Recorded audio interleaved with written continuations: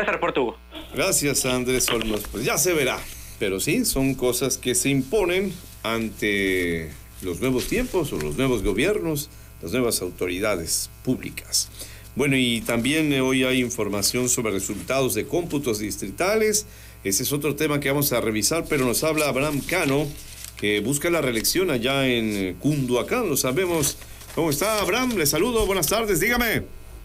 Mi querido Hugo, muchísimas gracias y saludos a toda la cabina de telereportaje, como siempre agradeciéndoles el espacio y el poder intercambiar una, eh, un contenido de información que se ha venido dando desde el domingo al terminar la jornada electoral y como bien comentas, que ayer inició precisamente el cómputo distrital tanto de las diputaciones, gobernatura, así como las alcaldías.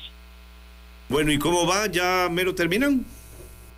Bien, bien, bien, bien. Hugo, comentarle a los tabasqueños, a los cundacanenses, hoy a eso de las 8 de la mañana inició ya de manera oficial el recómputo de todos los votos de la alcaldía a la presidencia municipal de Cundacán. Destacarte que en el caso del municipio se divide en dos distritos, distrito 13, que es la cabecera municipal, y distrito 11, que se comparte, son secciones electorales que se comparten con, con Malcalco, y nosotros, como lo he dicho ya en otras ocasiones, respetuosos de las instituciones, e independientemente del resultado preliminar, nosotros estamos plenamente confiados y seguros derivado al, al, a la 100, al 100% de las actas que tenemos en nuestras manos de un triunfo contundente de parte de nuestra fuerza ciudadana, fuerza independiente. Abraham, pero el preliminar hasta donde yo me quedé no les favorecía. El resultado preliminar eh, que no pero que no deja de ser preliminar y que no tiene en sí hasta este momento un fundamento legal porque es precisamente el recómputo el que te permite y el que te hace recibir la constancia de mayoría este, y es el que precisamente nosotros en este momento estamos llevando a cabo.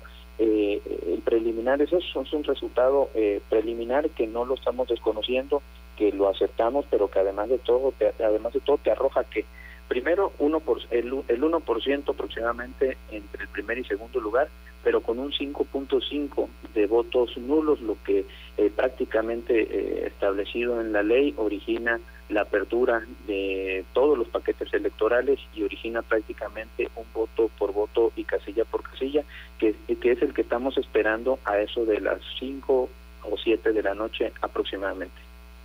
Entonces vienen horas intensas de mucho interés, ¿verdad? Allá en el distrital para la elección de Cunduacán. Habrá de esperar entonces los resultados, ¿no? También dicen que es prudente no declararse ganador en ninguna circunstancia. No, pero además yo también quiero dejarte claro algo. Mira, a mí en el 2000, eh, y los tabasqueños y los cundacaneses lo saben, a mí en el 2018 me tocó perder y a mí no me tocó, no me, no, no me, no me originó ningún problema salir a reconocer los resultados cuando eh, se pierde, se pierde.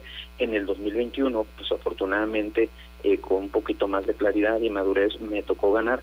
Fui impugnado, me llevaron no nada más a los tribunales, eh, al Tribunal Electoral de Tabasco, me llevaron inclusive hasta la Sala Jalapa, impugnado inclusive una diferencia mayor a la que hoy existe. Entonces, lo único que hoy estamos haciendo o estamos pidiéndole al Instituto Electoral es que se limpie la elección que de manera normal o inclusive también anormal se pudo haber tenido en algunas secciones electorales y que con claridad nos puedan dar entre hoy o mañana un resultado claro que deje satisfecho a los pundocanenses. Pues de acuerdo, Abraham, vamos a estar atentos a esto que nos ha planteado. Y pues ya, insisto, vienen las horas definitivas, ¿verdad? Para conocer a la próxima autoridad. En un escenario hipotético, si no le favorecen, pero el resultado es cerrado, ¿irá a los tribunales o ahí la deja ya?